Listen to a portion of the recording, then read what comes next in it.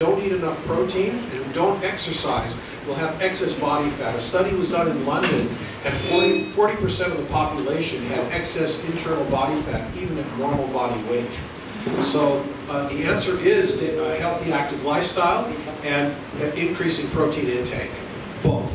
And uh, that helps to get rid of it. It is an inflammatory organ. When it fills up with fat, the fat goes into the liver. And a fatty liver today is the third leading cause of liver transplant in the world. So the abdominal fat's a really serious issue. You get carbohydrate and you get vitamins and minerals. What's missing from the shake is the extra fat. So you, and fat has nine calories per gram compared to carbohydrate being four and protein being four calories per gram. So when you get the high fat out of the diet in that meal replacement, you have a 200 calorie meal, which you're putting instead of a 500 to 1,000 calorie meal. And so uh, the most important meal of the day is breakfast. It turns out that people who eat a high protein breakfast, they're not hungry for many hours and it helps them with their weight management. So um, the breakfast meal is the one we emphasize the most, but they can be used twice a day for weight management, uh, once a day for keeping uh, the weight constant over many years. And there's a number of studies, there's probably 500 studies in the literature showing this now.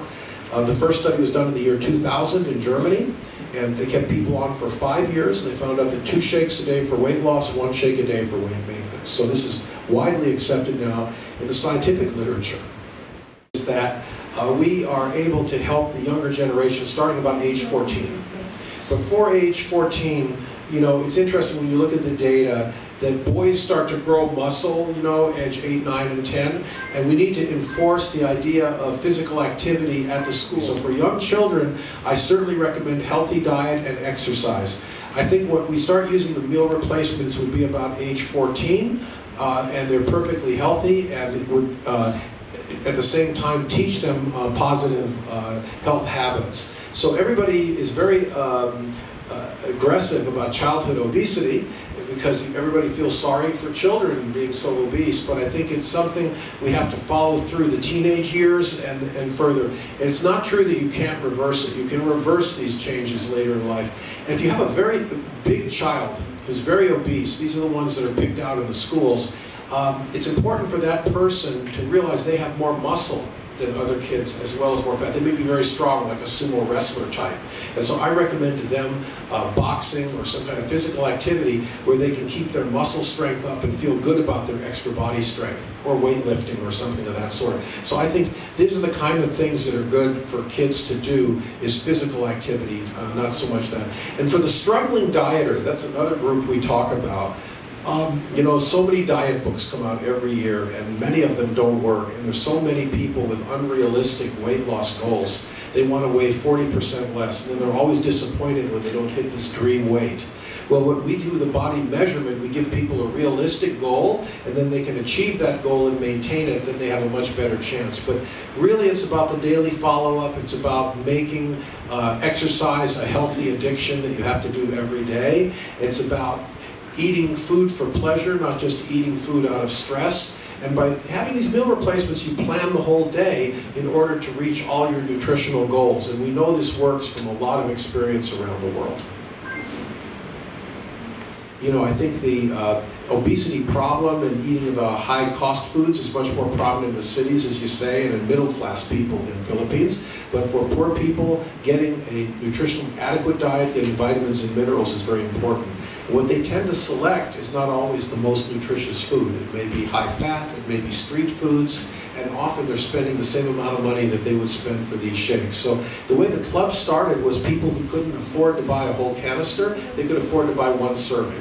So the owner of the club would buy some, uh, some blenders, and then he makes the shakes, serve each person and then they put some fruits in it. They take pride in it. I remember some clubs they put a little umbrella in the shake.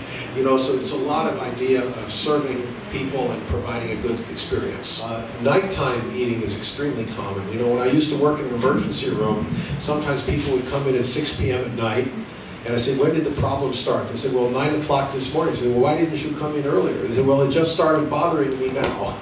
because when the sun goes down, people get very nervous. So it turns out about 25% of obese people do night binging. So I always say, uh, the best form of exercise is walk away from the refrigerator. this is uh, really important because uh, this constant eating, you, the extra calories have been calculated to be like six, 700 extra calories from stress eating. Another problem that happens is food addiction. So it turns out there is a receptor in the brain for addiction, and uh, we can find that gene in about 20% of alcoholics. We did a study in some of our obese patients, and 50% had the same gene, and they were addicted to sugar based on some questionnaires we did. So food addic being addicted to sweet is a very common problem. And the food industry takes advantage of that. A lot of their profits are with their heavy consumers who are really addicted and can't stop eating. So we deal with food addiction in our obesity treatment as well. But the healthiest addiction and the best stress reducer is exercise. So when you're nervous, if you exercise, it reduces stress. So we are all about healthy, active lifestyle. We have a wonderful fitness instructor, Samantha Clayton, who's made videos all over the world. And I was in China recently. We were doing 5K runs in different cities in China. So this is a global movement, I think, uh, you know, this is not a doctor office problem. This is a problem. There are not enough doctors, dietitians, or pharmacists to solve this problem. And as far as I'm concerned, you know, this is a public health issue, and we have to get the public involved in helping other people in the public with this problem because there's so many aspects to it. You need a social approach, uh, uh, a food approach and an exercise approach, and that's what we do. So now we have all these celebrities, uh, doctors who don't know anything about nutrition, writing nutrition books and diet books. And the problem is people buy them, they go on them for a short period of time, they go off. So over a thousand diet books are written every year, and they just don't work. So the problem is you need a lifetime daily process that you do all the time, not just reading a, a diet book.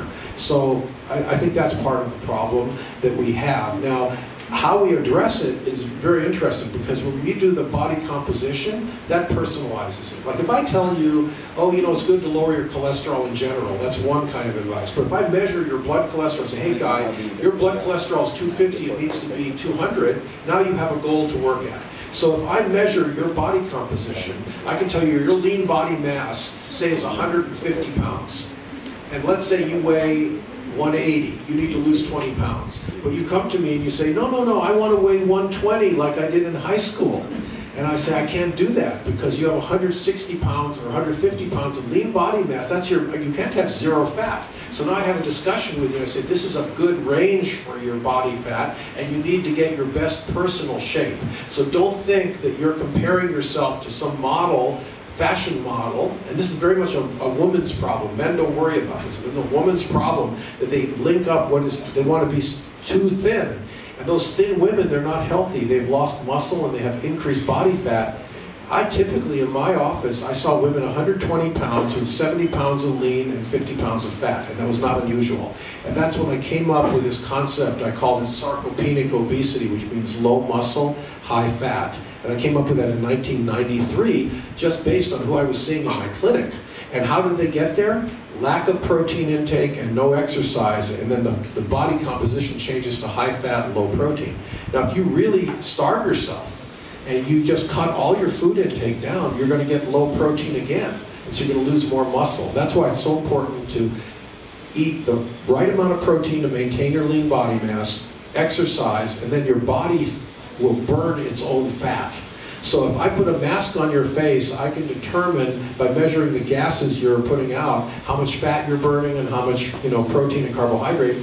And with that meal replacement, you'll be burning 40% of your calories from fat. So I say it's like walking through a fast food restaurant backwards. You're basically burning as if you were eating 40, you're eating your body basically and, and you're eating up the fat in your body and burning 40% of the calories you're burning are from your body fat.